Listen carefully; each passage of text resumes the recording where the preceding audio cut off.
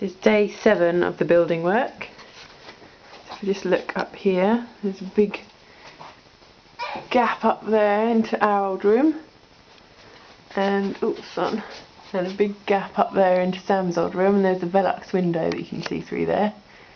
So I'll go up the stairs. Quite sunny.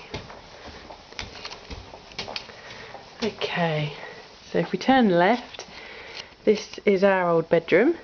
So the dormer window has been pushed out further out. So there's now a gap between the landing window and the bedroom window. that used to be together. And there's a new bit of dormer there. And on the wall, you can't really see, where that plank of wood is, there's a line drawn down the wall and that is the edge of the two, well that's where the partition wall is going to be. So this part will be Beth's room, they're just supporting beams so they won't be there. And this part will be Sam's room, but it hasn't yet got the dormer in there, so that'll be all pushed out.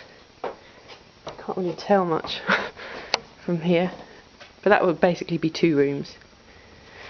And then if we turn around, oh, there's the uh, view down the stairs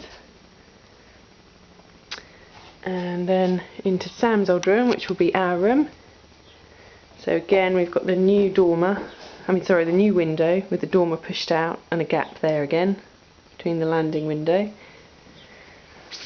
And over here that's the structure for the new ensuite. So it sort of backs onto that attic door and curves around a bit. So this part will be where our bed is.